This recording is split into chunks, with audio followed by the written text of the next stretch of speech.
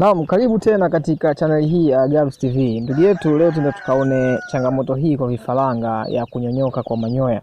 Sasa yawezekana nawe ndugu yetu uh, ukawa umekutana na hii katika vifaranga vyako, na kwa hawa ndugu zetu waliotaka kujifunza uh, ni sababu gani ambayo inapelekea uh, vifaranga kwa kunyonyoka manyoya au kutoka kwa manyoya katika miili yao. Unaweza kukutana kitu kama hiki na unaweza ukashtuka sana.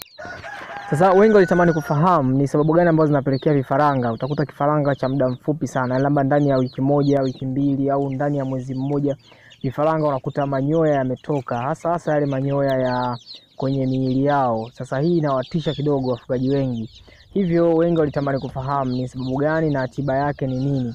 Sasa ungana katika somo hili la leo, karibu sana, kwamba kitendo cha kuku kunyonyoka manyoya huwa ni kipo na ni kawaida kabisa katika maisha ya kuku, lakini kitendo hiki kama ni cha asili na kitaalam kinaitwa molting.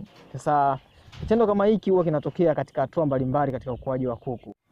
Na ndugu yetu, kabla tujaendelea, lakini tukumbushe, kama wewe ni mara kwa kwanza kufuatilia video katika chaneli hii, tunakuomba uweze kujiunga katika channel hii. Channel hii ndugu yetu inahusiana na kilimo na ufugaji, masomo mbalimbali, elimu mbalimbali kuhusiana na ufugaji tunaitoa ndani ya channel hii.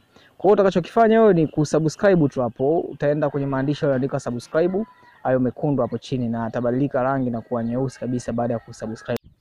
Na ndugu yetu, uh, kunyonyoka kwa manyoya kwa mara ya kwanza kabisa kwa kifaranga kinaweza kikatokea kipindi kifaranga anapokuwa na umri wa siku sita hadi siku nane yaani ni wastani uh, wa wiki moja, na hii inaitwa first au juvenile. Juvenile ni hiyo kunyonyoka kwa kwa mara ya kwanza, hiyo ni first molting ambayo inaweza ikafanyika.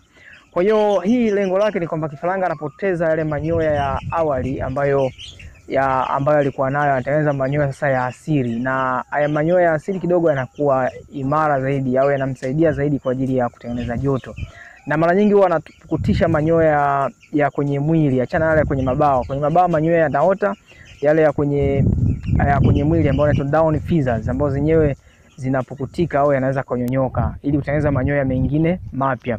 Kwa kitendo hiki kinaweza kikatokea kwenye huo muda, na baada ya hapo kitendo hiki kinaweza kikarudiwa tena kwa vifaranga hawa hawa, kifaranga anapokuwa wiki ya nane hadi wiki ya kumi na mbili.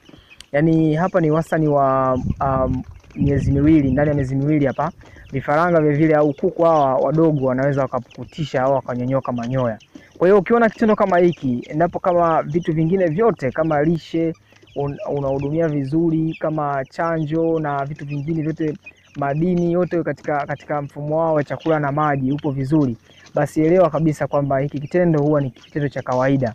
Na baada ya hapo sasa, uh, kuku vilevile vile anapokuwa sasa mkubwa inaweza ikatokea tena kitendo hiki tena cha kupotisha manyoya, na hii inaweza ikatokea pale kuku anapokuwa kipindi cha cha mwaka mmoja kama na nusu hivi, na hii inatokea sana sana wale kuku ambao ni wa mayai au ya wakenyeji wale wanaweza wakapukutisha vile vile manyoya, na hii inasaidia kutengeneza tena manyoya mapya. Lakini hasara ambayo inaweza ikatokea kwa kipindi kama hiki, kuku anapokutisha manyoya kipindi cha ukubwani na ndugu yetu wa kuku wakubwa, endapo kama tatizo hili litatokea au kupukutisha huko kwa manyoya kutatokea, uh, vitu ambavyo vinapelekea hasara ni kuku kutoweza kutaga, yaani utagaji wa kipindi kama hiki unapungua kwa kiasi kikubwa sana.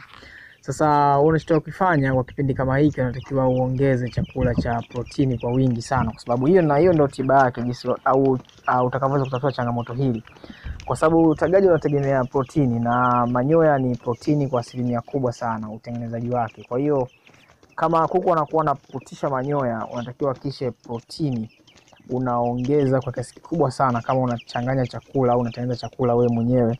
Sasa kwa, sasa kwa mfano wastani uh, vyakula vingi au uh, kiasi cha protini ambacho kinakaa kwenye chakula katika kama unachanganya chakula mwenyewe huwa ni asilimia kumi na sita, lakini kipindi kama hii kama kuku anapukutisha manyoya au ananyonyoka manyoya Uh, protini anatakiwa iwe angalau basi asilimia ishirini hadi asilimia ishirini na tano ya vyakula vyako vyote katika mchanganyiko wako, kisha protini inakuwa kwa kiasi kikubwa sana. Ndugu yetu, kama vifaranga vyako vinapukutisha manyoya au vinanyonyoka manyoya na mazingira ni hayo ambayo tumeyasema hapo, basi elewa kwamba ni hizo ni vitu vya kawaida katika hatua za ukuaji wao. Sasa unachotakiwa kufanya wewe ni kuhakikisha basi diet yako au msosi au chakula kile cha vifaranga wako kinakuwa ni bora. Ndugu yetu, tunaamini utakuwa umejifunza kwenye hili somo la leo, Sasa kama una swali lolote lile, yaani kuna sehemu ambayo haijaweza kueleweka vizuri kwenye somo hili, tunaomba uh, utuandikie hilo swali lako, nasi tutakujibu hapo hapo na au kulifanyia kazi hilo swali lako na kulijibu kama toleo la video linalofuata. Sasa tukutakia kila la heri katika shughuli zako, na hadi wakati mwingine, kwa heri.